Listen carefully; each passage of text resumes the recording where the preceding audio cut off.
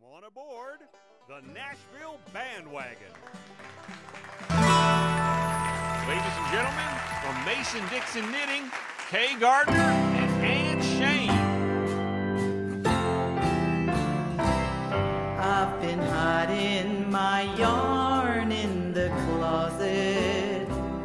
Oh, I wish I had fastened the door. Have found the big sweater I started. And you're asking me who is it for? Pardon me, I didn't knit that for you. I have knitted it for somebody new. It's a truth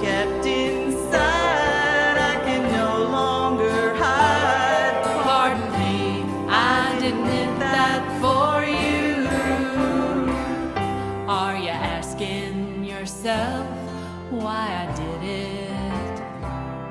How I came to do something so cheap? It's a crime of the heart I committed. I was knitting while you were asleep. Pardon me,